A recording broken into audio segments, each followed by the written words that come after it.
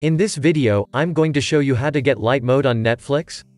Before we proceed, make sure you subscribe to this channel and press the bell icon to get daily tech videos. Let's get started. Okay to do this, head to the Chrome Web Store and install this extension called Netflix Light Mode.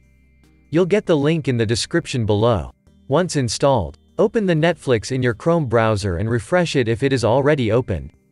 That's it now all the black elements are turned into warm white. And looks pretty good. That's it guys this is how you can get light mode on Netflix. If you like this video, give it a thumbs up and remember to subscribe I love free software TV, for more videos like this.